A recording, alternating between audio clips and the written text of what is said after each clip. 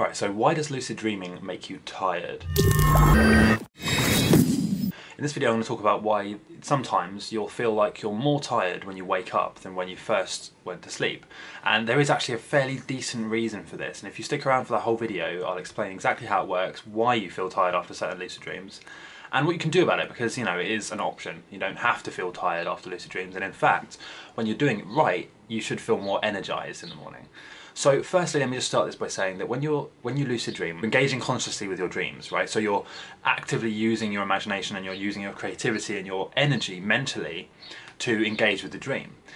But that shouldn't make you tired. That won't make you tired at all. In fact, what will really make you tired in a lucid dream is this. So with certain techniques like the wake back to bed, and in in fact with most lucid dreams, you have them uh, at a time after you've had six hours of sleep right? But not your full eight to nine hours. So if you if you have a lucid dream and then you wake up and stay awake after the lucid dream, of course you're going to feel tired because you haven't had your full eight to nine hours of sleep. You've cut it short, and the lucid dream has cut the cut your sleep short. But what you should be doing is having the lucid dream and then going back to sleep and then finishing your sleep cycle. Because if you don't do that, then you're only going to be sleeping for six hours, and obviously for most people, six hours isn't enough and that's why you're going to feel tired afterwards. So here's what you should do. You should have a lucid dream. If a lucid dream wakes you up and you need to, you know, write it in your dream journal and that sort of stuff, that's fine, right? But then go back to sleep as soon as you've written the dream down. This is really important because if you don't do that, you're, you're not getting enough sleep.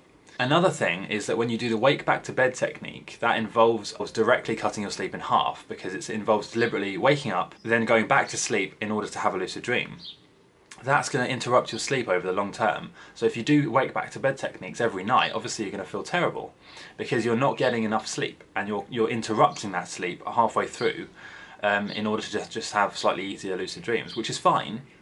But if you're feeling tired, okay, if lucid dreaming is making you tired, then just stop the wake back to bed method and remember that when you have a lucid dream, you should always go back to bed afterwards, especially if you have a lucid dream early in the morning, like 4, 5, 6 a.m.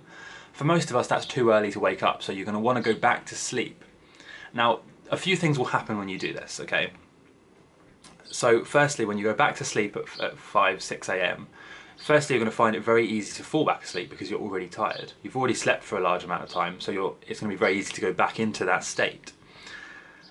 And there are a number of things you can do with that. So you can either use that to lucid dream more.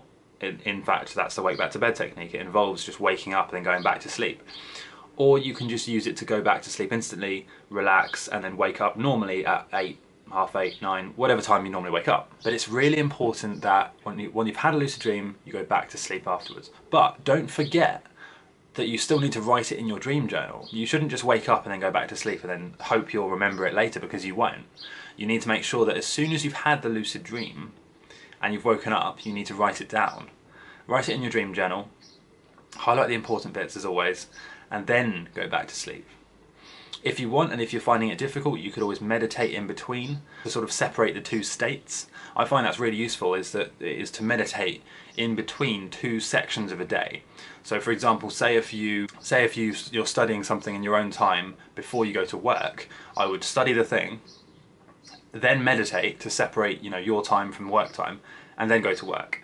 And in the same way when you get back from work or school or whatever, I would meditate as soon as I'm back home to separate the two states, right? Because when you're in one mindset of studying, work, school, whatever it is, you need to then change that mindset and separate them mentally when you come back home and you want to relax or learn other things or be social, for example, right?